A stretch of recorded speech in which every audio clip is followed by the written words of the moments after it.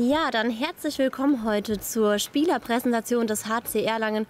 Heute hier mitten vom Spielfeld der Arena Nürnberger Versicherung. Wie Sie bereits alle sehen konnten, handelt es sich bei unserem Neuzugang um den norwegischen Nationalspieler und Kreisläufer Petter Överby.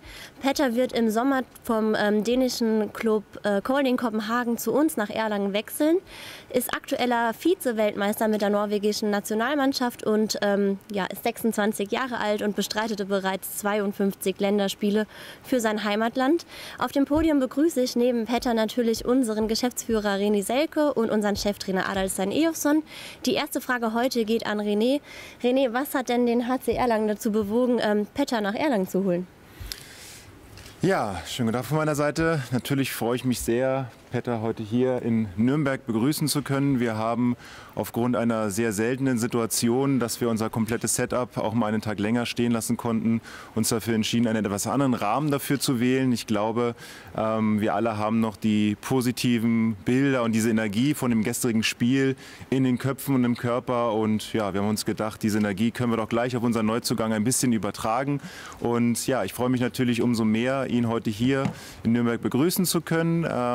Die Fakten hat Mira ja schon großteils zusammengefasst. Wir haben hier einen noch relativ jungen, aber schon internationalen erfahrenen Kreisläufer hier für den HC Erlangen gewinnen können. Wir haben uns vor einiger Zeit ähm, sehr, sehr intensive Gedanken gemacht, was die Kaderplanung für die neue Saison angeht.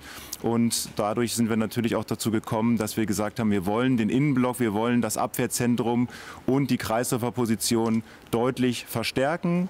Dadurch muss man natürlich auch noch zwei weitere Entwicklungen sehen, ähm, weil man kann sich nicht natürlich jede Woche einen norwegischen oder internationalen erfahrenen Kreisläufer ähm, leisten und auch hier nach äh, Nürnberg bzw. zum HC Erlangen lotsen.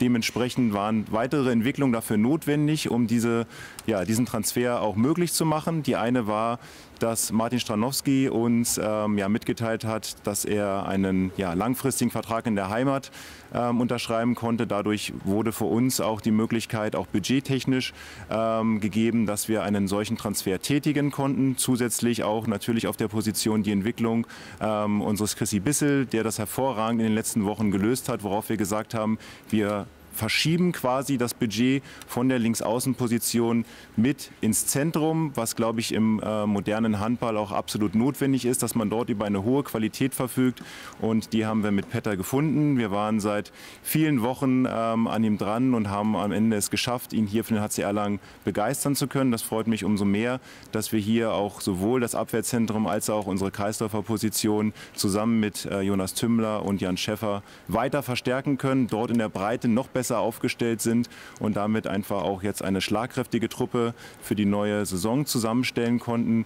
Natürlich ähm, mussten wir jetzt auch äh, dadurch, durch die Budgetverschiebung, werden wir natürlich auch noch auf der Linksaußenposition was tun. Das wird sich in einem anderen Rahmen natürlich bewegen. Aber ich glaube, dass sich äh, im modernen Handball einfach, und man hat es auch gestern gesehen, wie wichtig es ist, eine starke Abwehr zu stellen. Dadurch profitieren die Torhüter, einen guten Kreisläufer zu haben, der dort die Lücken für die Rückraumschützen reißt und auch möglich macht. Und ja, dadurch sind natürlich dann auch solche Ergebnisse wie gestern noch möglich. Ich glaube, dass wir mit Petter noch eine sehr, sehr gute und schöne Zukunft vor uns haben. Deswegen freut es mich umso mehr, dass wir ihn für den HC Erlangen gewinnen konnten. Ja, und wünsche ihm natürlich persönlich alles Gute und eine erfolgreiche Saison. Er hat einen Zweijahresvertrag unterschrieben. Dementsprechend haben wir die nächsten Jahre hoffentlich viel Freude an ihm.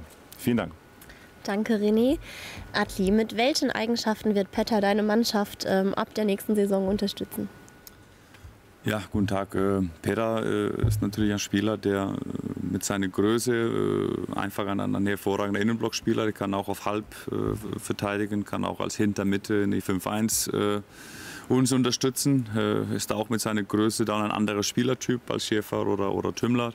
Äh, und kann, äh, kann uns vor allem das ermöglichen, dass wir dann, was wir gestern auch gesehen haben, dass wir äh, bei der Nico oder Hassan mehr Pausen geben können oder auch Schröter und haben einfach in die Kombination jetzt mit einem Innenblockspieler einfach viel, viel mehrere Möglichkeiten, um variabel ja, im Block oder unser Rotationssystem ordentlich einzusetzen. Danke, Adli. Petter, um, what are your feelings um, about your transfer to um, Erlangen and what do you expect from the first division? Uh, my feelings about coming to Erlangen are I'm really happy and I'm really excited to uh, take this step to the Bundesliga and I'm uh, happy and uh, I'm excited to take a part of the training with the team uh, in the autumn to build something uh, for the next season. Ja. Danke. So, dann ist es jetzt Zeit für die Fragen der Presse. Das Mikrofon liegt da vorne.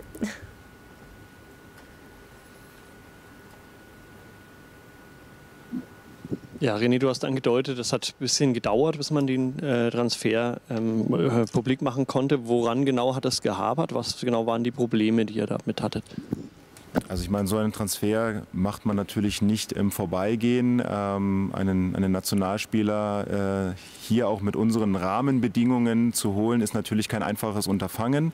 Ähm, er hat jetzt die letzten Jahre beim dänischen Spitzenclub äh, Kolding gespielt, ähm, wo er noch einen Vertrag hatte.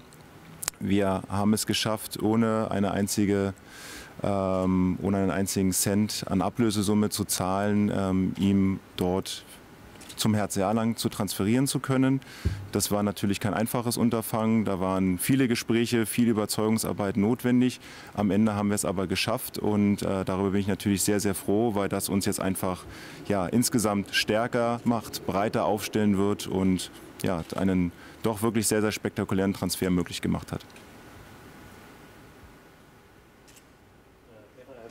game yesterday, and if so, how did you like it?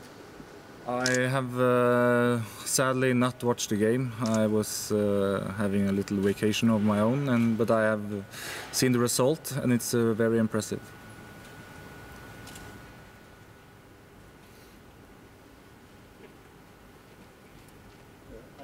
Bevor das Interesse des HC Erlangen äh, erwachsen ist, hast du ihn schon gekannt?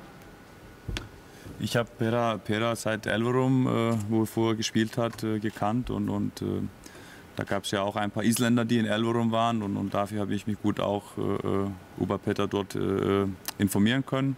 Und natürlich, äh, seit er jetzt äh, in, in Koling ist, äh, beim, beim, in, in, Dänemark hat man auch dem, dem Werdegang dieses Jahr im, im gefolgt. Ja, ich, ich habe ihn gekannt. Wir haben ihn ja nicht von heute auf morgen. Das ist eine, war meine Prioritätposition, muss ich sagen, wo ich hier einkam, dass wir auf diese Position unbedingt äh, was vor den Innenblock holen wollten. Wir haben, glaube ich, seit meinem Amtseintritt, glaube ich, gesucht und, und unfassbar viel Zeit investiert, um, um, um, um zu scouten, zu suchen.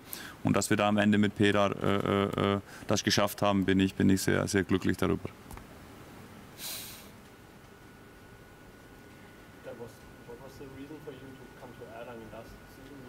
Champions League. Now uh, you play Bundesliga, but not uh,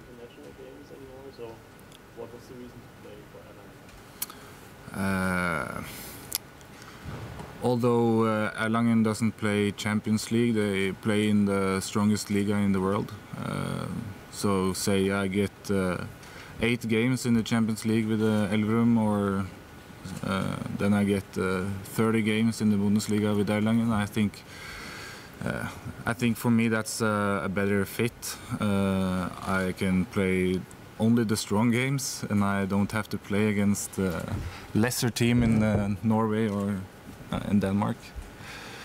Um, so, of course, that's uh, that's better in my mind. Have you heard about before? before they asked you to play for them? Yeah, I mean, I follow the Bundesliga, so I I know the teams that play here. Uh, I don't always uh, know all the players, but uh, of course I know the teams. Do you know any of the players? Yeah, I mean, uh, before they were interested in me, I know the the players that I played in the national team. But when they uh, were interested in me, I uh, watched some games and, of course take notice than some of the players. Yeah. But you didn't. Sorry. Can you describe yourself as a player, your style of playing? Uh, I don't uh, speak German that well, but I think maybe they have some of some of my qualities. I can play both ways. I'm big. I can uh, play in uh, different sort of defensive positions. Uh, and uh, I think I'm I'm a good also a good fit in the to the other people players that are here in the club.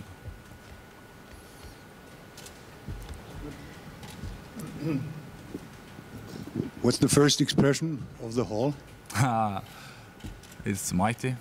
Yeah, it's a big, uh, nice arena uh, that I hope we can fill to the edges the next season.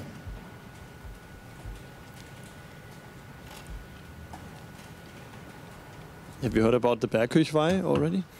If I heard about what? Bergkirchweih? No. Bierfest? Uh, No, I have not heard about any beer fest, but I will check that out maybe. maybe.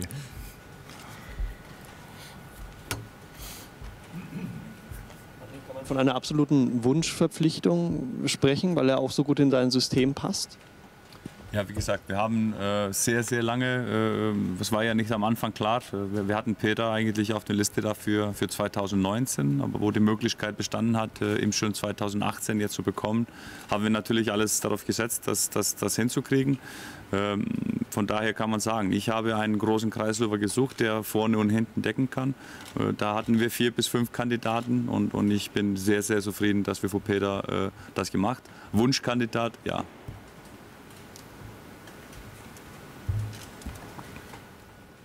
Were there any other teams of the Bundesliga interested in you?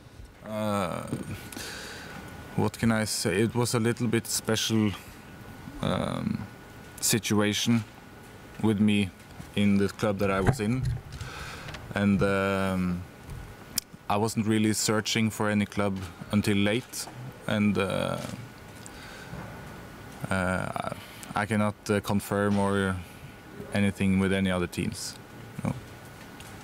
Um deine Frage vielleicht noch ein bisschen zu erweitern oder erweitern zu beantworten. Es war natürlich die Situation, dass er ja eigentlich noch einen Vertrag hatte, weswegen er bei vielen äh, Bundesligisten mit Sicherheit nicht als Option zur Verfügung stand. Auch wir hatten ihn ja, wie Adlis es schon gesagt hat, eigentlich erst ab 2019 wirklich ähm, angedacht, ähm, als wir aber ähm, durch mehrere Insider-Informationen ähm, herausgefunden haben, dass es die Möglichkeit gibt, ihn auch schon zur neuen Saison verpflichten zu können, haben wir, wie schon gesagt, alles versucht und alles daran gesetzt und nach ja, wirklich mehreren Wochen harter Verhandlung ähm, ist auch geschafft, ihn, bevor auch alle anderen, sage ich jetzt mal, die Möglichkeit hatten, äh, da auf diesen Zug mit aufzuspringen, ihn hier für den HC Erlangen gewinnen zu können. Wann, äh, René, wann zieht ihr um nach Erlangen? Oder wann ist die? Das wird jetzt in den nächsten Wochen passieren. Ich meine, die neue Saison bzw. die jetzige ist ja bald beendet und dann beginnt erstmal die Sommerpause, aber in dieser wird mit Sicherheit auch die Zeit genutzt werden, um dann einen Umzug aus Dänemark oder jetzt Norwegen hier nach Erlangen zu vollziehen.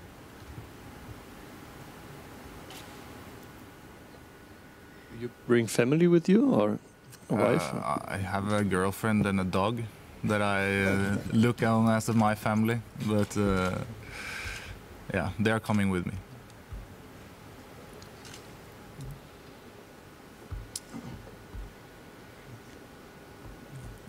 Gibt es noch weitere Fragen von Seiten der Presse?